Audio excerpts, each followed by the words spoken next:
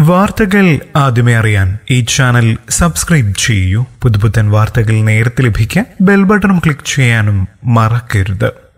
സജിഷേട്ട I am almost on the way. നിങ്ങളെ കാണാൻ പറ്റുമെന്ന് തോന്നുന്നില്ല. സോറി. നമ്മുടെ മക്കളെ നന്നായി നോക്കണേ. പാവം കുഞ്ചു. അവനെ ഒന്ന് ഗൾഫിൽ കൊണ്ടുപോകണം. നമ്മുടെ അച്ഛനെ പോലെ തനിച്ചാകരുത്. Please with lots of love. ഈ വാക്കുകൾ കേൾക്കുമ്പോൾ ആദ്യം ഓടി വരുന്ന ഒരു മുഖമുണ്ട് മലയാളികളുടെ മനസ്സിൽ. അത് മറ്റാരുടേതുമല്ല. സിസ്റ്റർ ലിനിയുടേതാണ്.